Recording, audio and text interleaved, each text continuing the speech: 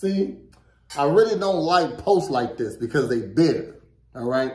It's showing y'all real colors. Okay, ladies, it's showing you real colors, all right? Look, if you ask a man to do something and he don't do it, you got to think to yourself, where am I at on his totem pole? On his list of people? All because you fucking don't mean you number one.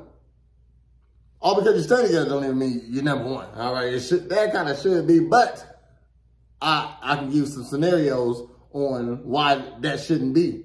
But if my friend need a ride and you ask me to do something, I'm gonna have to evaluate which situation is uh, more dire and who deserves my attention first. Okay? It might not be you. It might be my guy. But but, but let uh my cousin uh Ronnie come through. You got you got seniority on him, okay? I, I ain't gonna I don't really fuck with Ronnie. All right? You get it? Okay, you know what I'm saying? Get on, get somewhere on the on the hierarchy, on the top, on the totem pole of his his life. Don't just be worried about sucking his totem pole. Get at the top of his totem pole. Holla.